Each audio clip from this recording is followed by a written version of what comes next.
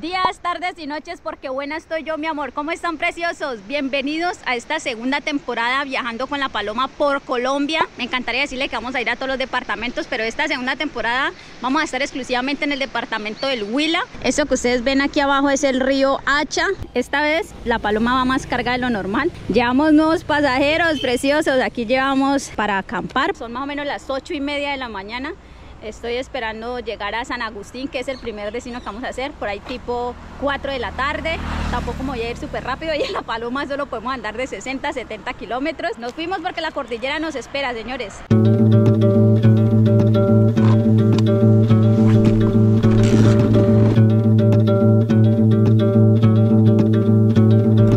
Bueno, el primer trancón saliendo ya, mi amor. Vamos a ver, están arreglando la carretera. Dando solamente paso por un lado. Aquí abajito llevo agua. Y por aquí puse una bolsita para llevar frutas. Ahí llevo un mango. Y otra cosita que le puse fue esto, para aquí colocar el celular.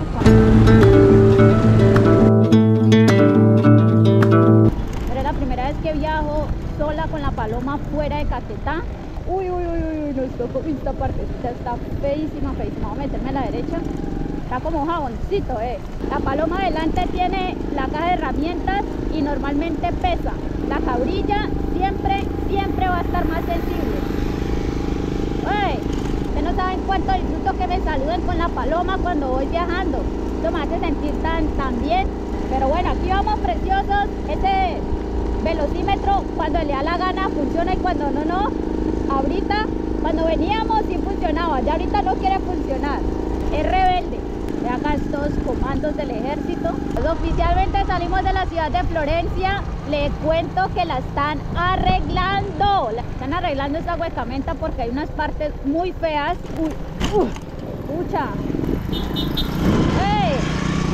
Por acá hay muchos balnearios, o sea, muchos bañaderos. Aquí al lado derecho está el río Hacha. Y ahora en adelante la paloma va a entrar a prueba. Va a entrar a prueba porque lo que nos toca de aquí para arriba es pura cordillera, puntualmente.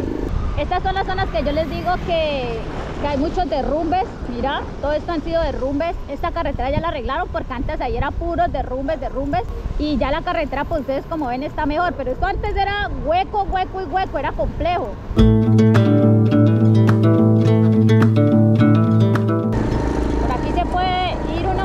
Por esta vereda y se puede salir a Florencia también. Una vez hice ese recorrido por ahí y caminé alrededor de, unos, de unas 6 horas y salí a la parte donde están las casas fiscales, por donde queda la ciudadela.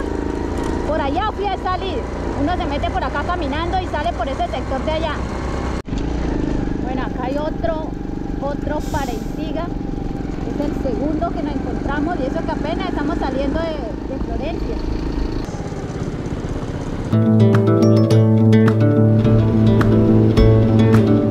Así se siente el fresco, precioso. Están pavimentando por tramos. Nos demoramos como 20 minutos. En el camino de Florencia a Neiva nos encontramos con muchos mejoramientos de la malla vial. Hay que resaltar que esta es la vía principal del departamento del Caquetá. Por eso nos encontramos varios para y siga. Y eso de alguna manera impacienta a algunos conductores como este señor. Ya fanoso, bebé.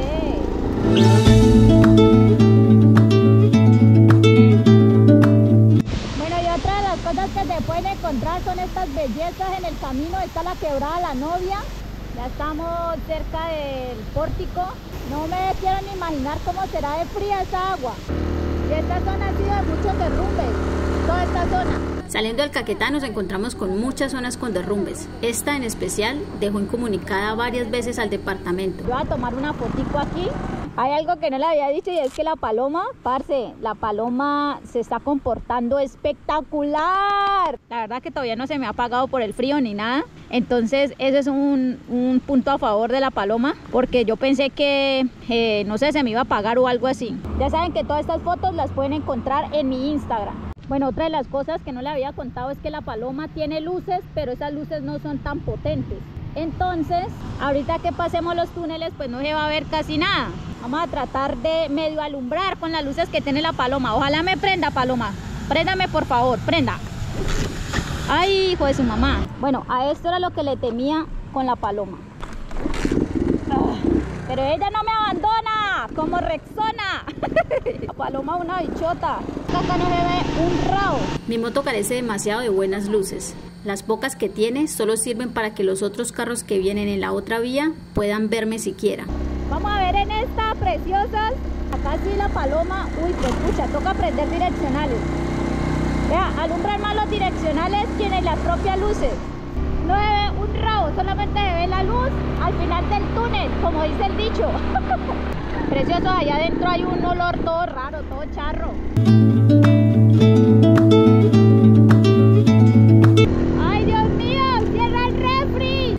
maravillas que puedes disfrutar por esta ruta es el hermoso bosque de niebla. Ya como haciendo la niebla. Estamos pasando por una de las zonas más afectadas por derrumbes. Se darán de cuenta nada más en el estado de la vía. Si ven la montaña, se ve sin vegetación por tantas lluvias y deslizamientos. Aquí han habido demasiados derrumbes preciosos. Nada más miren en esas rocas tan grandotas. Aquí han caído muchas más grandes que esas, preciosas. Hay gente de la zona que están arreglando esta partecita, arreglando esos huecos. ¿Qué más? ¿Cómo ha estado esta carretera? Bien, señora. ¿No ha vuelto a haber derrumbes? No, señora, pues derrumba ya, pero suave. ¿Y usted vive por esta zona o qué? Señora, yo vivo acá como unas dos, tres vuelticas. Ah, bueno. Dios le bendiga. Dios me la bendiga, mamá. Amén, amén. ¿Va para lejos? Sí, hoy pasa San Agustín. ¿Voy muy enmaletado o qué? No, siempre. No, pero gracias a Dios hoy hizo un día espectacular. Vamos a aprender otra vez esta paloma que cada vez que se apaga, Ave María, para prenderla. No, paloma, no me va a dejar quedar mal acá. Hasta luego. A ver.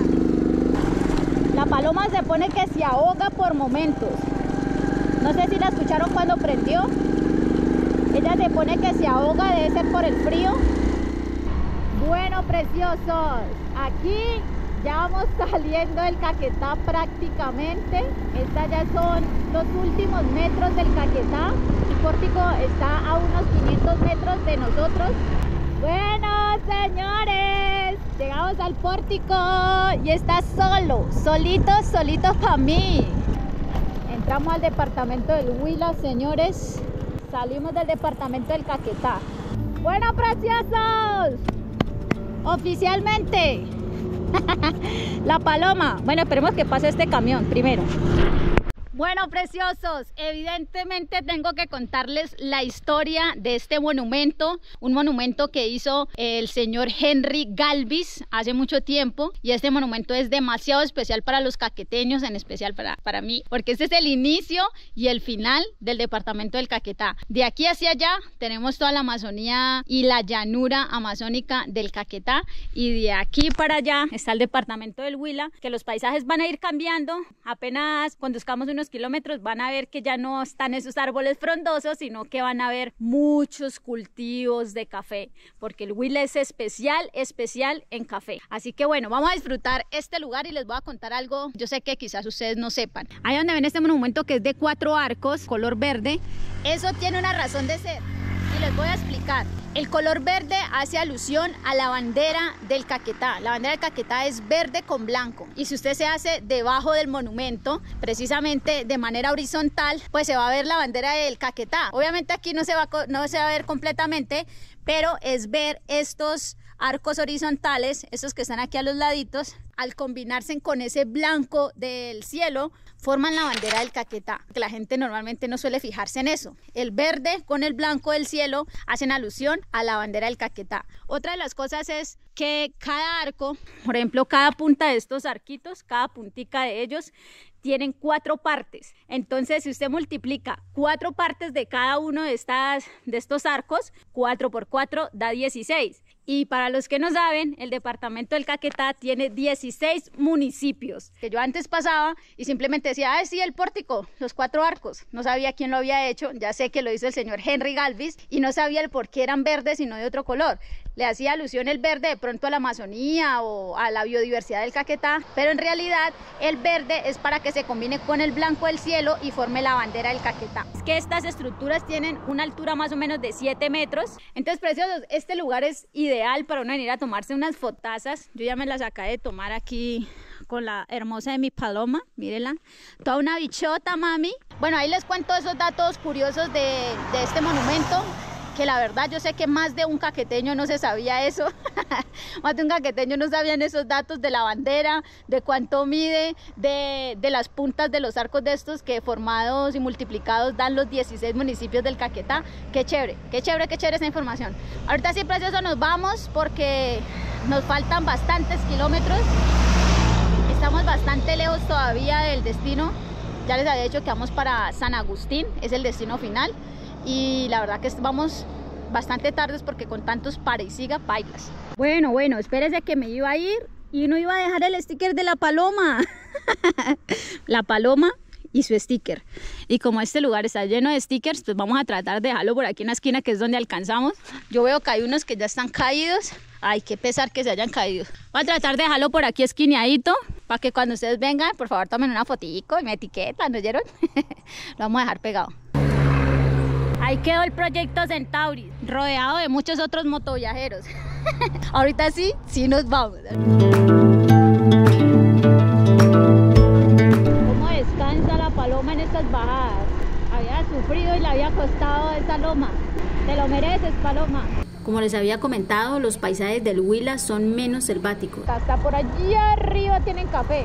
Mientras vamos bajando la cordillera se pueden ver hermosos cultivos de café y plátano al lado y lado de la vía. La paloma está descansando bastante en esta bajada de la cordillera. Les puedo decir que estamos oficialmente en el departamento del Huila, hogar del imponente nevado del Huila, del sanjuanero huilense y del nacimiento del río Magdalena. Bienvenidos al Huila, un departamento rico en cultura. El Huila es muy popular porque tiene muchos miradores si no, no, no se ven hermosas llenas de, de café y de plátano, vea. Todas esas fincas llenas de café y de plátano. Hasta la coronilla, mi amor. Con la paloma empezamos a recorrer los primeros kilómetros del departamento del Huila. Al fondo pueden apreciar las montañas más definidas y menos pobladas de árboles.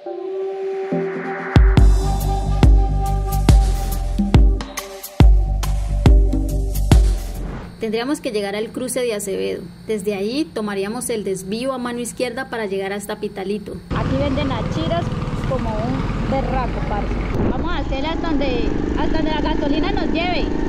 Esta vía es más angosta, mucho más angosta de lo normal, de la vía principal. Nos esperan alrededor de 44 kilómetros más o menos, eso sería una hora y media, así que por aquí tendríamos que empezar a subir nuevamente montaña. Este sin duda es un derechazo para ir hasta Pitalito. La otra opción sería ir hasta el municipio de Altamira y devolverse hasta Pitalito para poder llegar a San Agustín. Mire, mire, mire estos rotos acá. Uy, papá. Uy. ¿Qué más vecino? ¿Cómo va? Bien, tapando los huecos, vecina. ¿Tapando esos huecos, sí o qué? ¿Ya vive por allá? ¿Sí? ¿Usted vive por esta zona? Señora, ¿Usted vive por esta zona? yo vivo aquí en Acevedo, sí, señora. Ay, fue pucha. Pero, pero ha estado un poquito mejor. Yo hace años pasé y esto está una tronera. ¿Lo hemos estado arreglando? ¿La comunidad o qué? No, nosotros trabajamos con el niño. Ole, va a ver si tengo por acá una monedita de la paso. Bueno, señora, ¿Usted cómo se llama? Orlando Dorado. Orlando y el pelado. Él es mi hijo, Dorado también. No apellido porque tenemos aeropuerto en Bogotá, pero... Ah, le- tienen aeropuerto pero no saben que es de ustedes. Señora. Yo vengo desde Caquetá. Y con la cámara va grabando adelante. Claro, aquí lo estoy grabando a usted. Hola. Me va a hacer famoso.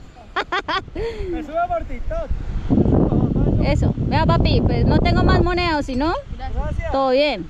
Que le rinda. Amén, que así va a ser. Bien, bien bonita la moto y anda, vea. Bacano. Ahí vamos, vamos para San Agustín. ¿Será que ahí llegamos hoy o qué? Y ahorita se ya entra aquí al pavimento. Ahí adelante está el pavimento. Bueno, muchas gracias. A ti, que te vaya bien. Chao. Hay que valorar el trabajo de, de la gente, preciosos. Vea, el señor viene con su palita, su carretilla, con el pelado, a tapar todos estos, todos estos huequitos. Que no crea que todos estos huecos dañan las motos, los carros. Vamos, Paloma, vamos, vamos, vamos, bebé, no sé qué. Esta parte está feita, feita. Pero también uno descansa un poquito del pavimento porque todo el tiempo uno en pavimento se cansa de la nalga. Voy con un pantalón muy delgado y de alguna manera la nalga queda muy extendida, muy desplegada. No tiene, no, no está bien amarradita, bien apretada como cuando va con jean. Entonces se cansan un, se cansa uno un poquito más de la cola. Uf, parce. Vea, bienvenidos a Acevedo Huila. Chico, una pregunta, ¿por aquí es para Pitalito? Al fondo y volteo a mano derecha. Ok, gracias. Pitalito, Pitalito me espera, mi amor. Pero antes tengo que salir de Acevedo. Yo creo que ya está así en la salida para, para Pitalito. Les puedo decir que la paloma anda entre cafetales.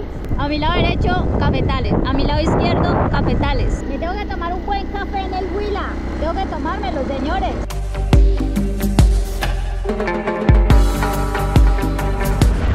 Me acuerdo que hace un año puntualmente pasé por esta vía, pero no en mi paloma, pasé en una moto más grande, iba en compañía de mi hermana, íbamos para Popayán, para Cauca. Ahorita pues como voy con la palomita me toca suave, suave, suave mi calor, o sea, suavecito mi amor. Uf, parce, esta no me la esperaba. Esta puntualmente no me la esperaba. Uy, uy, uy. Este barro tiene dos cosas. Una, que se adhiere a la llanta fácilmente, se pega y se vuelve como un chicle. Y dos, que por acá hay unas piedras que están muy puntiagudas. En la ruta me encontré con mi amigo Alex. Él me va a acompañar hasta llegar a San Agustín. Precisamente me voy a quedar en la finca de sus abuelos. Habíamos llegado a Pitalito, conocido como el mayor productor de café de Colombia. Esta es una primita de la paloma, no es una hermana, no es una primita porque es Yamaha. Si fuera una Yali, sería una hermanita, pero como es Yamaha, es una primita. Pitalito es mucho más grande que Florencia. Ya llegamos a Pitalito, vamos a almorzar y le voy a presentar a un amigo, él se hace llamar el Cholopo. Bien, vea, por aquí parchaditos en la ciudad La Hoyana, vamos a pegarle a- al almuercito. Vamos a pegar al almuercito, al almuercito, no vayan a creer que vamos a pegar a otra cosa, ¿vieron? Al almuerzo. Esto es lo que vamos a almorzar. De aquí a San Agustín, ¿cuánto estamos? 30 minutos aproximadamente. Ah, yo sé que estamos a una hora. 30 minutos a la capital arqueológica, muchachos. Allá donde lo ven, eh, mi amigo Alex es de ese municipio. O sea, él nació allá, ¿sí o qué? Sí. Nació en, en San Agustín. Nosotros teníamos en la casa un palo de estos de mamoncillo.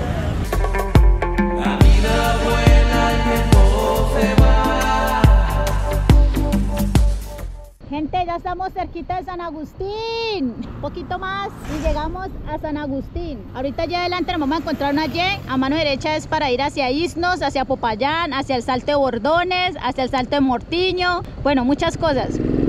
Nosotros vamos derecho. Y ahora sí, preciosos, les presento la capital arqueológica de Colombia. Bueno, preciosos, oficialmente estamos en San Agustín. Se uno de cuenta por la fachada de las casitas. Aquí estamos más o menos a 1300 metros sobre el nivel del mar. Estábamos subiendo prácticamente la cordillera de los Andes. Ese municipio es muy lindo, las casas son hermosas con sus fachadas antiguas y el ambiente aquí es de esos ambientes hermosos pueblerinos.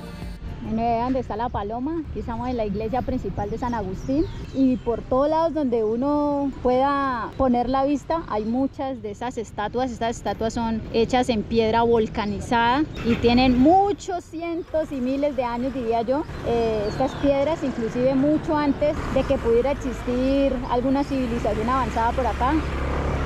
Y vea, preciosos, llegamos hasta San Agustín, esa casa de allá me encanta parce, se ve espectacular. Y hasta aquí llegó la Palominchis, que la vamos a tomar una foto. Bueno, vamos a, echar una caminadita por aquí a ver.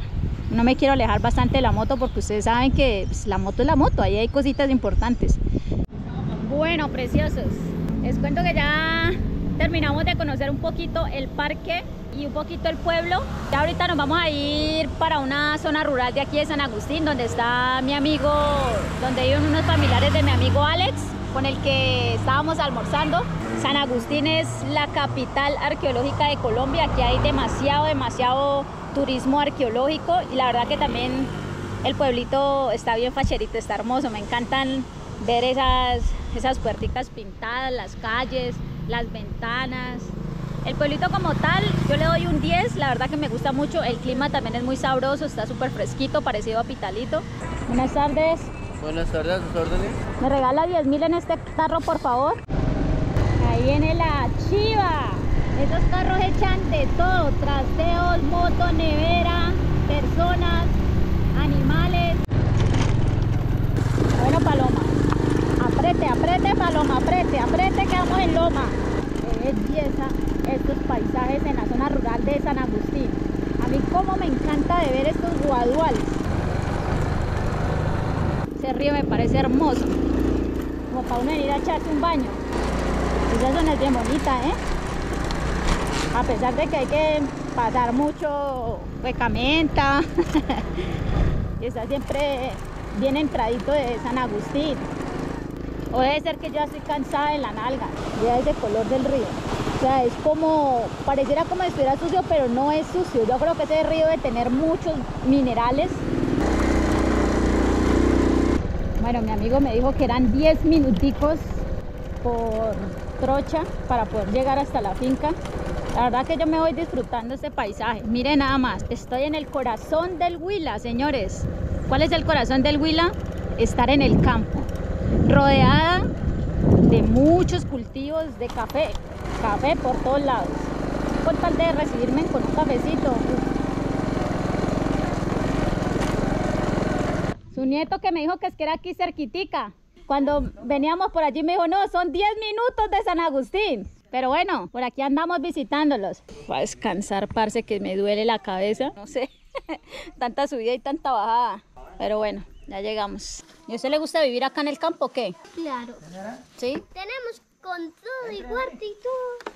O con cuidado que acá está caliente el motor, ¿oyeron? Ya uno, ya uno, ya uno. Ay, de, de dulce. ¿Usted también? ¿Cómo es el nombre tuyo? Guadalupe. Guadalupe. Y también le podemos Llegamos por fin aquí a la casa de los abuelos de mi amigo Alex. La abuela Clara se llama. Buenas tardes, mucho gusto Andrea, amiga de, de Alex. Mira, por acá les traje un... Ya le repartí pan a los pelados, que sea que... Ana, ella se llama Ana. ¿Ana se llama? Ah, bueno. ¿Y usted Guadalupe? Mira tan lindo ese perrito. Es mío. Dijo que lo cuidamos. Sí, lo cuida. No es mío. Ay, pero es que tienen hartos perros, mira. ¿Y este cómo se llama? Un coqui. Coqui, coqui. Toby, se llama Ah, Coqui. todo. Coqui. Y este, y este grande. Panda.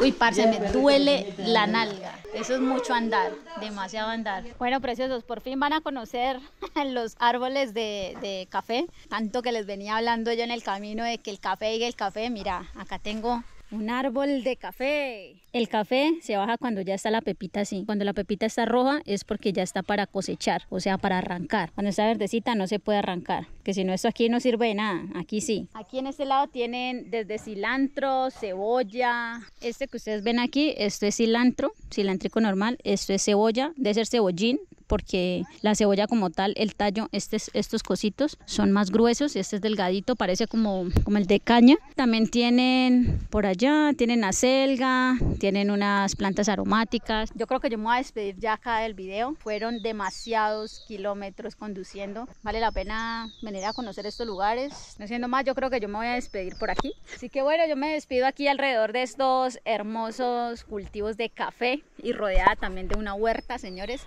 Nos vemos en un próximo video, preciosos. Gracias por acompañarme como siempre con la paloma. Nos vemos para la próxima. Chao, la